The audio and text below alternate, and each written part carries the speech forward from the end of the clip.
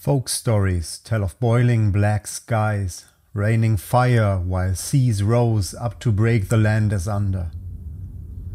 Tales are told of the floods and devastation, death and destruction on an unimaginable scale, the earthquakes, choking winds, and an entire world dying, wreathed in flame.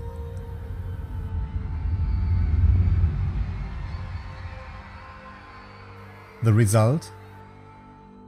A timeless and world spanning civilization crushed in an almighty cataclysm, the likes of which has never been seen before or since.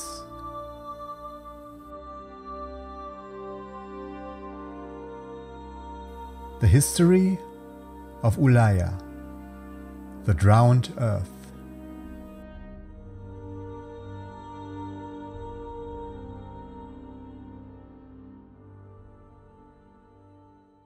Known as the event, nobody truly knows what happened. Some say it was the retribution of the gods, punishing the arrogance of the builders. Others say it was a terrible war to end all wars. But all agree that the once mighty civilization that ruled the drowned earth was utterly crushed. Whatever destroyed it hundreds of years ago and however complete the devastation. The evidence of this planet spanning civilization still surrounds us today. Waters have risen. Nature has reclaimed the earth, healing the scars of the event. Once majestic towers stud the jungles and wetlands of the drowned earth like so many mouths of broken teeth. Hiding in the ground are the often mysterious trappings of the builders, the people of the pre fall civilization, strange and unknowable. The twisted and broken remnants of their ingenuity lie crumbling in the dew covered forests and mountains, ready to be discovered and sometimes even reclaimed. For the drowned earth is a world of tropical heat, rainforest, lagoon, swamp, and archipelago.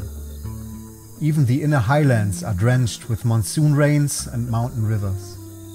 These jungles and swamps are dangerous places to travel.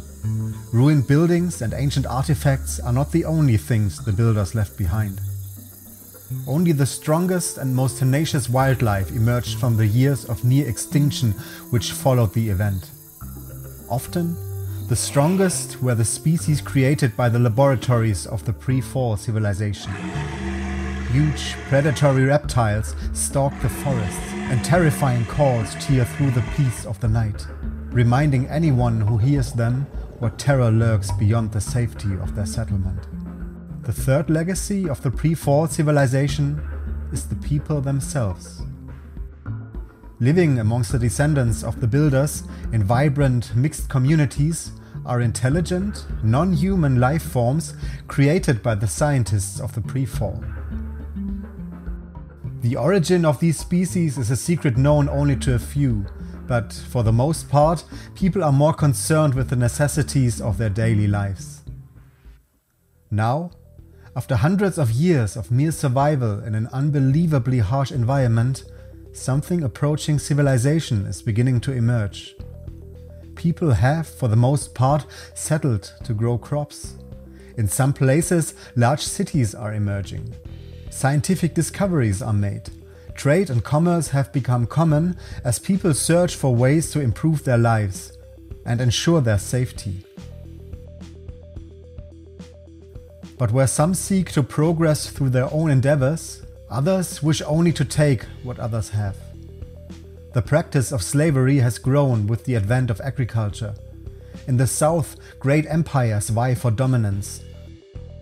The trading leagues of the northern islands fight each other for trade routes, while pirates eagerly snap up the scraps of such conflict.